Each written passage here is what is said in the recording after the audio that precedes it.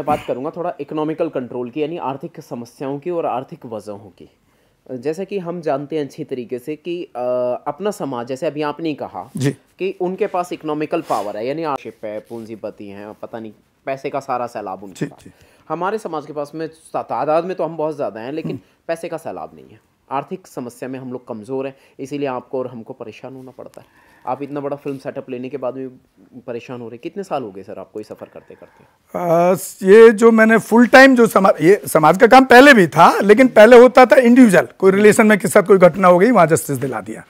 Full time करते हुए पाँच साल हो गया जी। तो पाँच साल से सारे इनकम जो सोर्सेज थे मेरे बंद हो गए। बंद हो गए। हैं जी। कंटिन्यू रहेंगे और कई अन्य मुद्दों पे बात करेंगे। मैं आपको स्टूडियो भी दिखाऊँगा अभी लाइव वीडियो पर। और, मैं सर ये जानना चाहता हूँ इस पूरे समस्याओं की हल क्या है, जिससे आप और हम गुजर रहे हैं? सर इस समस्याओं का हल, देखिए इस समस्या का जो हल है, जिस तरह से बाबा साहब और साहब काशीराम पे बैक टू सोसाइटी की बात करते थे। अब तक जो लोगों ने बाबा साहब के संविधान से फ़ायदा उठा करके सरकारी नौकरी में गए या इंडस्ट्रियल प्लॉट में भी रिजर्वेशन मिला फैक्ट्रियाँ भी खोली। इंडस्ट्रियल प्लॉटों में रिजर्वेशन है बहुत सारे स्टेट्स में। बहुत सारे स्कीम्स में रिजर्वेशन है, का फ़ायदा लोगों ने लिया है। लेकिन उनमें से कोई पे बैक टू या कोई आईपीएस बन गए आईएएस बन गए बैक टू सोसाइटी नहीं करते हैं। कोई हमारे जैसा कोई अगर आदमी कुछ सफ़र कर गया इस वजह से तो उसमें वो सपोर्ट नहीं करते हैं। एक तो ये बड़ा नेगेटिव कारण है हमको पीछे जाने का। रही बात इसकी कि आ, इसका सॉल्यूशन क्या है? तो सॉल्यूशन देखिए गवर्नमेंट जॉब तो मोदी सरकार ने सब बेच दिया। मोदी आरएसएस हम तो आरएसएस संघी सरकार बोलता हूँ इसको। वो तो बेच दिया। तो एक तो सवाल यहाँ पर यह कि हम हिंदू क्यों बने हुए हैं अभी तक? जो हमारे बहुजन समाज के लोग हैं। हम पूजा कर रहे हैं हम पाखंड पे ढो रहे हैं। हम देवताओं की पूजा कर रहे हैं, देवियों की कर रहे हैं, फिर भी हमारी इकोनॉमिकल कंडीशन तो नहीं सुधर रही। तो हमको पहले तो उस अंधविश्वास से बाहर निकल करके, और अब ये कमर कसनी पड़ेगी कि हमको प्राइवेट सेक्टर के लिए हमको तैयार होना पड़ेगा। चाहे वो टेक्निकल स्किल्स हो।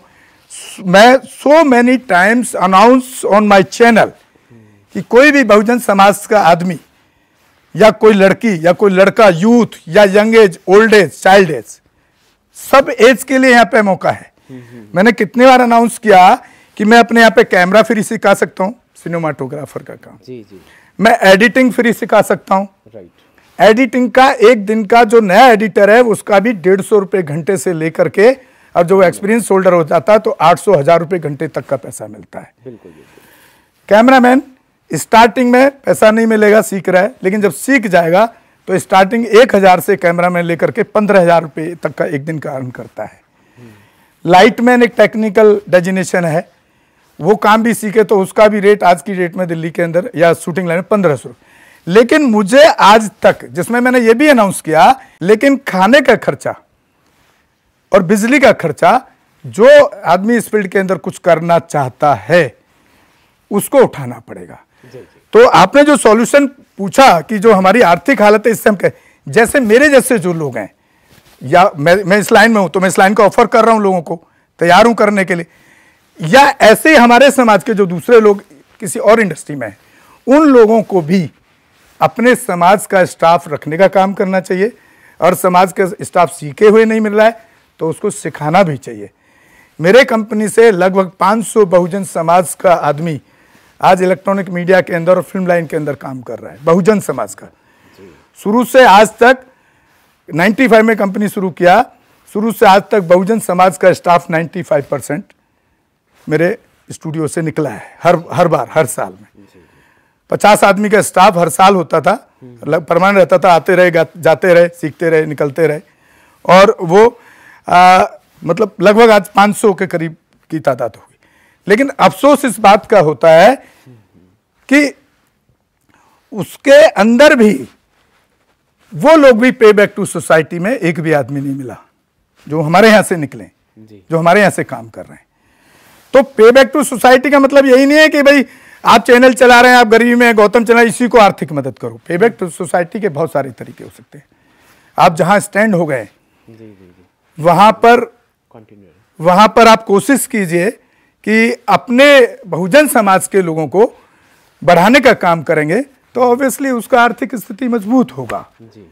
यही यही एक तरीका है कि हमको प्राइवेट सेक्टर में जाकर के अपना मुकाम मेहनत करके हासिल करना पड़ेगा। उस पर अगर आप बैठे रहेंगे तैयारी करते रहेंगे लाख में दस नौकरी मिलेगा और वहाँ पर पाँच दस लाख बच्चे हमारा बहुजन समाज का अपना घर बेच करके या ज़मीन बेच करके या कर्जा करके उसको पढ़ाई के लिए शहर भेजेगा। देखिए बहुत गहरी बातें बताई हैं। फ़िल्म प्रोडक्शन हाउस चलाना बच्चों के खेलने करोड़ों रुपए का खर्चा आता है। सर आपने अपनी कभी फ़िल्म प्रोडक्शन में अपनी कोई फ़िल्म बनाने की कोशिश करी है? हाँ सर मैंने एक तो बाबा साहब भीमराव अंबेडकर के ऊपर गाना बनाया। जय भीम सॉन्ग के नाम से। और गाने में कई लाख का खर्चा किया मैंने। लेकिन अफसोस इस बात का है कि वो मेरे चैनल पर भी है। और बहुजन समाज से हमको मात्र छियासठ हज़ार का व्यूअर्स मिला है।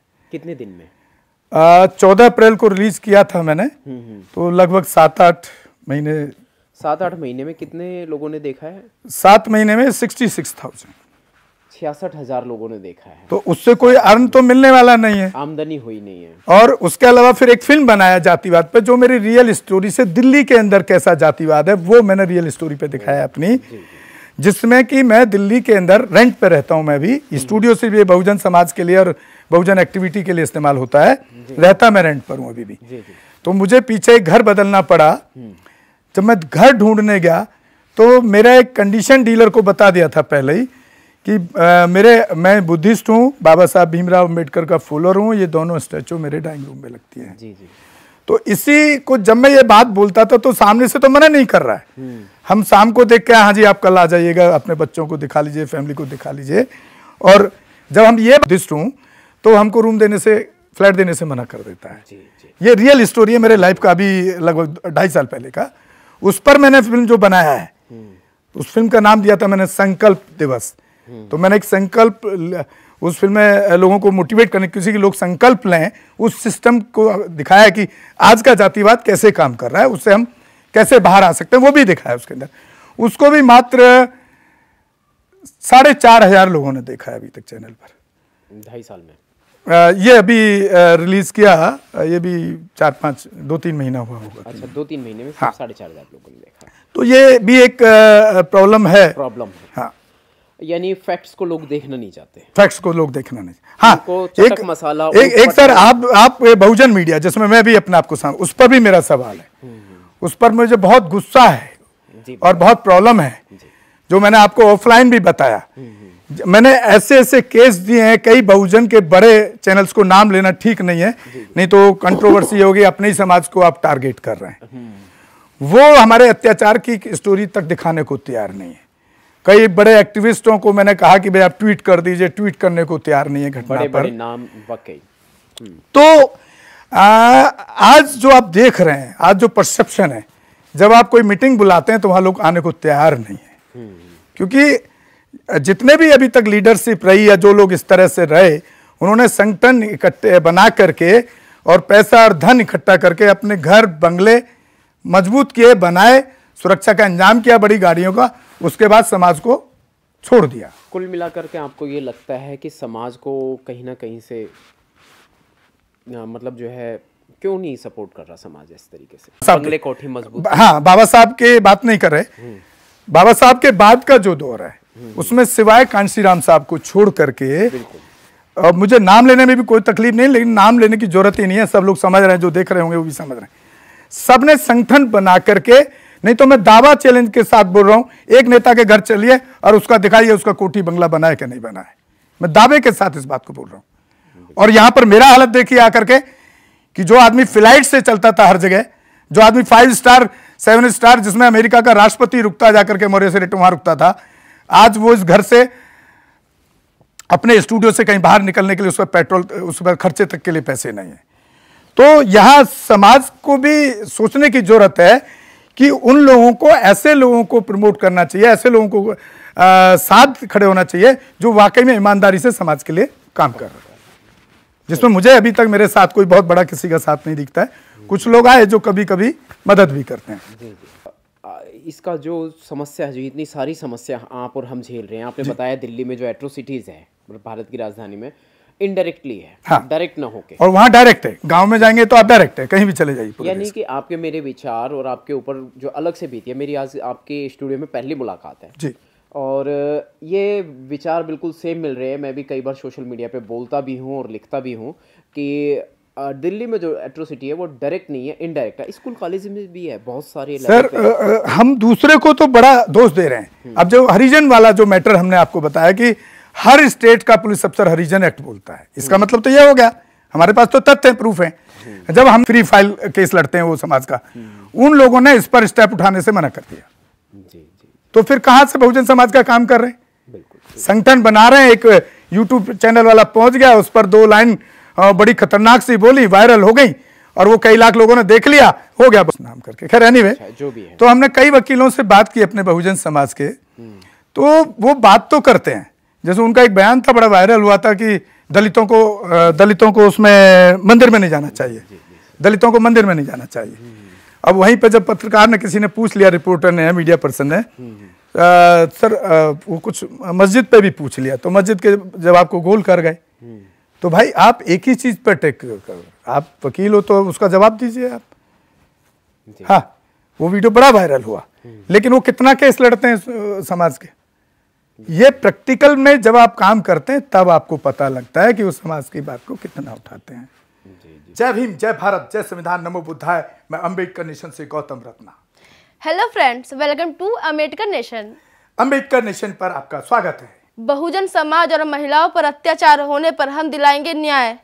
और दिखाएँगे बहुजन महापुरुषों का इतिहास। और पढ़ाएँगे आपको बाबा साहेब भीमराव अंबेडकर द्वारा लिखा हुआ भारत का संविधान। हमारे channel. Ambedkar nation like share. Subscribe करना मत भूलिएगा। जय भीम जय संविधान जय भारत नमो बुद्धाय धन्यवाद हमें टोको मत हमें आगे बढ़ते जाना है। जय भीम का नारा लगाना है, जय भीम का नारा लगाना है, जय भीम जय भीम। अंबेडकर नेशन चैनल आर्थिक समस्या से गुजर रहा है।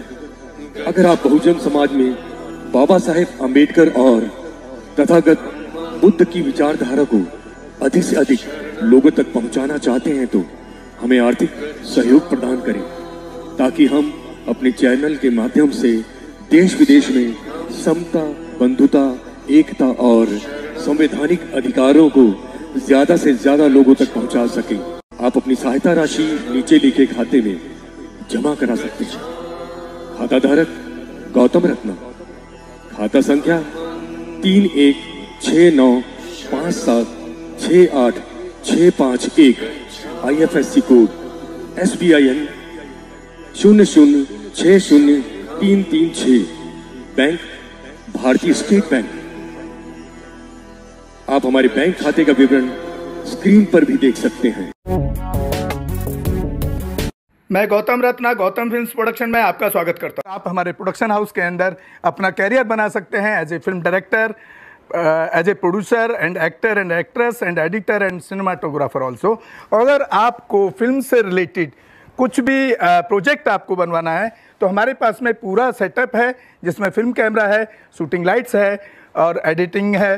सारा ए टू जेड एक ही जगह पर आपको हमारे यहाँ पर मिल जाएगा। तो दोस्तों, आप हमें कांटेक्ट कर सकते हैं हमारे नंबर्स पर nine eight one double zero eight five seven one four और eight five one triple zero five seven one four. हमारे वेबसाइट पे विज़िट कर सकते हैं W W dot film service India dot com और हमें मेल भी कर सकते हैं Gautam film production at the rate G mail dot com पर। धन्यवाद।